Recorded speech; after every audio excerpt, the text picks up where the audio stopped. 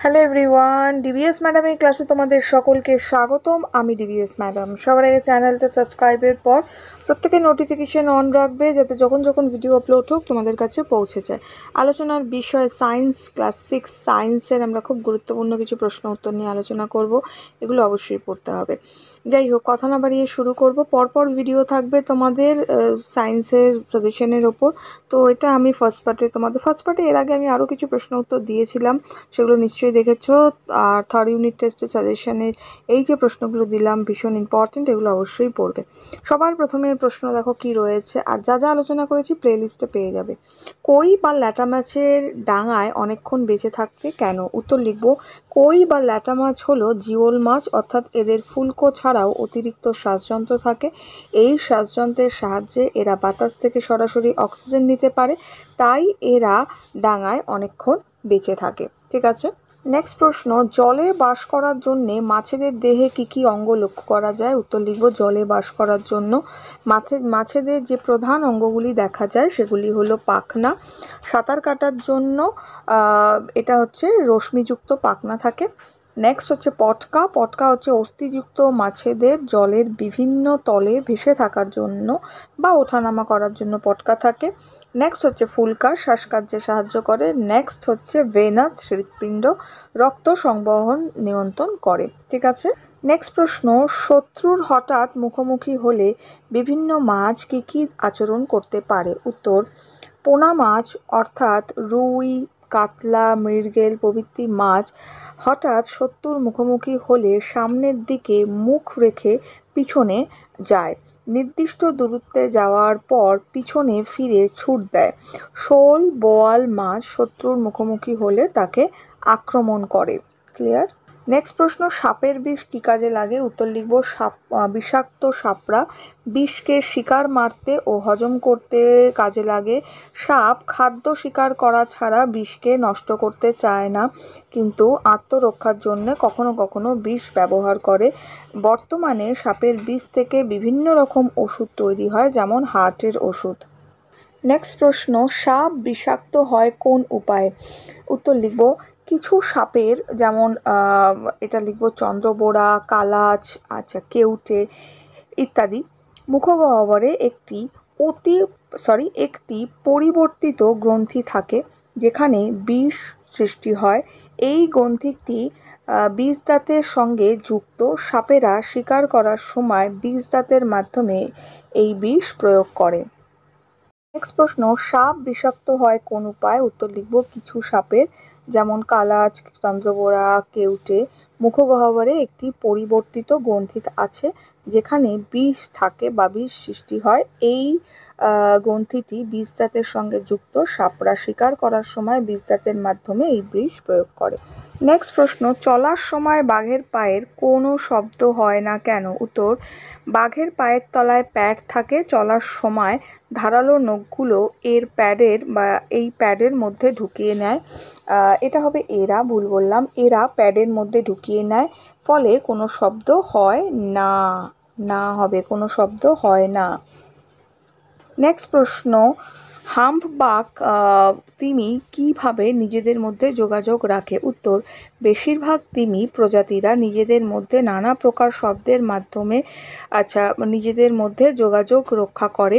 হাম্পবাগ তিমি সুরেলা গানের মাধ্যমে আওয়াজ করে নিজেদের মধ্যে যোগাযোগ রাখে নেক্সট প্রশ্ন, তিমি কখনো পুরোপুরি ঘুমোয় না কেন? উত্তর লিখব, তিমিরা জলে বাস করলেও এদের শ্বাসঙ্গ ফুসফুস তাদের জলের উপরে উঠে এসে শ্বাস নিতে হয়, এজন্য তিমিরা কখনো পুরোপুরি ঘুমায় না।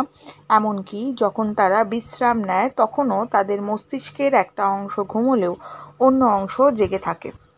নেক্সট নেক্সট প্রশ্ন এডিস মশার বৈশিষ্ট্য লেখো, উত্তর লিখব। আকারে খুব ছোট ও মোটা হয়, ডানায় কোনো দাগ থাকে না, তবে উদরে সুপুষ্ট সাদা কালো ডোরা থাকে।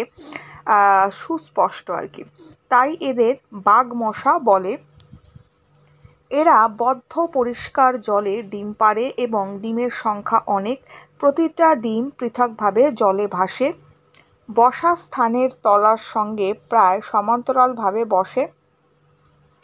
বসার স্থানের তলের সঙ্গে প্রায় সমান্তরালভাবে বসে।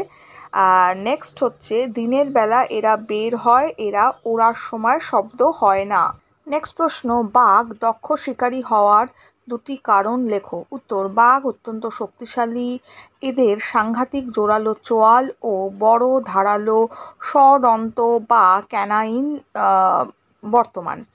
নেক্সট এদের চলাফেরায় কোনো শব্দ হয় না, এদের দৃষ্টিশক্তি ও শ্রবণ শক্তি অত্যন্ত প্রখর। নেক্সট প্রশ্ন, সুন্দরবনের বাঘের বৈশিষ্ট্য লেখো। উত্তর লিখব, সুন্দরবনের বাঘকে বলা হয় রয়্যাল বেঙ্গল টাইগার। বাঘের গায়ের চামড়া হলুদ, হালকা হলুদ থেকে লালচে হলুদ রঙের হয়। আঙুলের ছাপের মতো গায়ে ডোরাকাটা কালো দাগ থাকে। এর সাহায্যে এরা সুন্দরবনের হেতাল গাছের জঙ্গলে সহজে লুকিয়ে থাকতে পারে। হরিণ ও শুয়োরের মাংস এদের প্রিয় খাদ্য। এছাড়া কাঁকড়া মাছ, গোসাপও খায়। ঠিক আছে? নেক্সট প্রশ্ন, তিমি নীল তিমির বৈশিষ্ট্য এখানে লিখব। নীল তিমির উল্লেখযোগ্য বৈশিষ্ট্যগুলি হলো, নীল তিমি পৃথিবীর সবচেয়ে বড় প্রাণী। নেক্সট আমরা লিখব, একটি নীল তিমির ওজন তিরিশটি হাতির বা দু হাজার জন মানুষের ওজনের সমান। নেক্সট ও দিয়ে দিয়েও লিখতে পারো বা নেক্সট পয়েন্ট করেও লিখতে পারো। নেক্সট আমরা লিখব, জন্মের সময় এদের দৈর্ঘ্য সাত মিটার এবং ওজন থাকে আড়াই হাজার কেজি। নেক্সট আমরা লিখব, বয়স বাড়ার সঙ্গে সঙ্গে একটি পূর্ণবয়স্ক নীলতিমি প্রায় তিরিশ মিটার লম্বা আর ওজনে প্রায় দেড় হাজার সরি দেড় লক্ষ কেজি হয়। এরা দিনে প্রায় তিন থেকে চার হাজার ক্রিল খায়। নীল তিমির আওয়াজ একটি জেট ইঞ্জিনের আওয়াজের চেয়েও তীব্র। ঠিক আছে, এতটা লিখব, তাহলেই হবে। নেক্সট প্রশ্ন অ্যানোফিলিস মশার বৈশিষ্ট্য। উত্তর আমরা লিখব, আকারে ছোট, ডানা সাদা, কালো দাগ থাকে, কিন্তু উদরে কোনো দাগ থাকে না। নেক্সট এরা ছোট জায়গায় পরিষ্কার জলে চল্লিশ থেকে একশোটি ডিম পারে প্রতি ডিম পৃথকভাবে জলে ভাসে, বসার স্থানে তলের সঙ্গে সূক্ষ্ম কোণে সরি সূক্ষ্ম কোণ করে বসে। ঠিক আছে? প্রায় পঁয়তাল্লিশ ডিগ্রি কোণ করে বসে। আচ্ছা দেওয়ালে বসলে মনে হয় সরু একটি কাঠি যেন খাড়া হয়ে রয়েছে। নেক্সট লিখব, এরা সন্ধ্যায় বের হয় এবং ওড়ার সময় ভন ভন শব্দ হয়। নেক্সট আমরা লিখব কিউলেক্স মশার বৈশিষ্ট্য। এখানে লিখব, আকারে বড় হয়, ডানা বা উদরে কোনো দাগ থাকে না। এরা ডোবা, নালা প্রভৃতি বন্ধ সরি বদ্ধ নোংরা জলে দুশো থেকে চারশোটি ডিম পারে বসার স্থানের তলের সঙ্গে প্রায় সমান্তরালভাবে বসে। এরা বিকেলবেলা বের হয় ও গভীর রাতে সক্রিয় হয়। ওড়ার সময় কোনো শব্দ হয় না। ক্লিয়ার নেক্সট প্রশ্ন, চার্লস ডারউইন কী জন্য বিখ্যাত ছিল? উত্তর লিখব, চার্লস ডারউইন ইংল্যান্ডের বিজ্ঞানী ছিলেন। তিনি ছেলেবেলা থেকেই পোকামাকড়, পাখি প্রভৃতি আচার আচরণ লক্ষ্য করেন। পরে বড় হয়ে তিনি জাহাজে করে ঘোরার সময় অন্যান্য নানা জীবের আচরণ দেখেন। এই সব চিন্তাভাবনা থেকেই তিনি একটি বই লেখেন।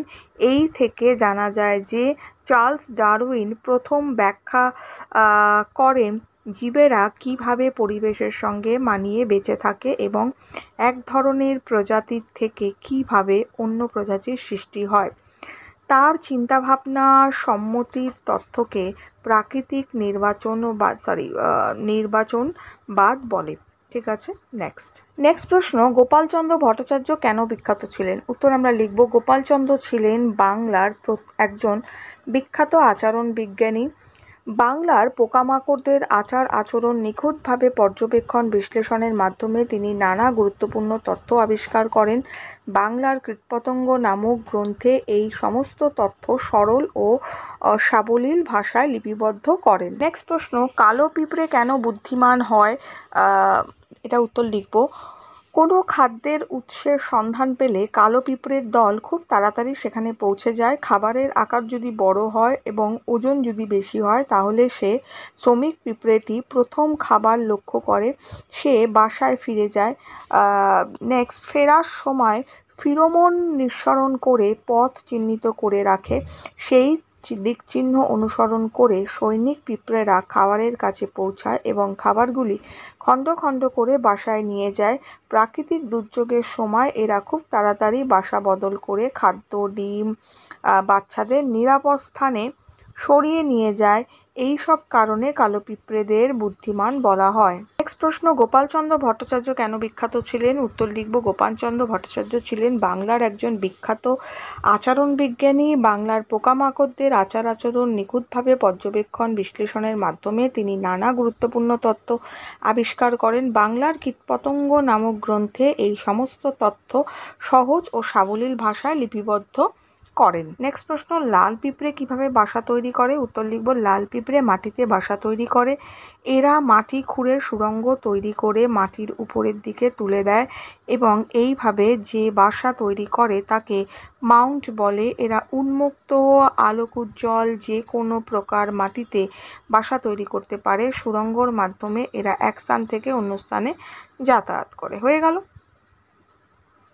নেক্সট প্রশ্ন, যা এটা লিখব হচ্ছে, যা আরি হবে, এটা অরি এসছে, এটা আরি হবে। আরি, ফ্যাবা, আর, চার্লস ফন ফ্রিশ, এরা যেসব প্রাণীদের নিয়ে কাজ করেছেন, তাদের একটি করে নাম লেখো। উত্তর আচরণ বিজ্ঞানী যা হবে, জ এসছে, যা আরি এটা আরই হবে। আরই ফ্যাবা পোকামাকড়দের আচরণ, বিশেষত শুঁয়োপোকাদের একগুঁয়ে স্বভাব নিয়ে গবেষণা করেছেন এবং বিজ্ঞানী চার্ল ফন ফিশ মৌমাছির নাচের ভাষা আবিষ্কার করে নোবেল পুরস্কার পেয়েছেন। তাহলে এই যে প্রশ্নগুলো দিলাম, খুব ইম্পর্টেন্ট এগুলো ভালো করে পড়ো। নেক্সট ভিডিওতে আমি আরও প্রশ্ন উত্তর নিয়ে আলোচনা করব।